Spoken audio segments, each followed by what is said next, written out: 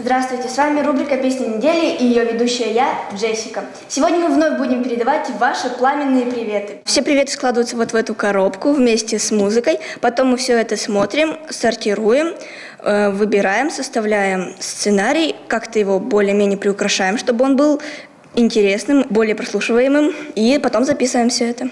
Настю Кузнецову в школе номер 60 знают не только как ученицу одного из восьмых классов, но и как редактора рубрики «Песни недели», звучащей в эфире школьного радио «Легенда». Свое вещание оно начало год назад.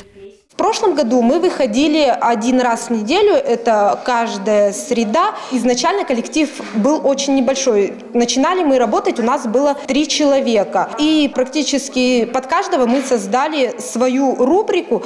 В работе у редакторов «Легенды» сейчас три рубрики. Исторический калейдоскоп о событиях мировой истории, в мире событий новостная сводка за неделю и любимая слушателями рубрика «Музыкальные приветы». В этом году вещание школьной легенды еще не началось, но работа над выпусками уже идет. На первую в этом году родийную летучку пришли 10 учеников седьмых и восьмых классов. Я уже давно хотела попробовать себя в сфере журналистики, но никак не решалась.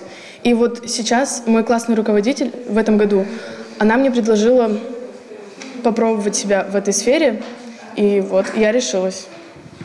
У нас еще в прошлом году была такая программа «Журналистика». И мы ходили туда, нас обучали, как сделать лонгрид. В конце мы сделали лонгрид, и вот меня это все заинтересовало, и я сегодня пришел попробовать еще. Еще раз. От тополя копыт пыль по полю летит.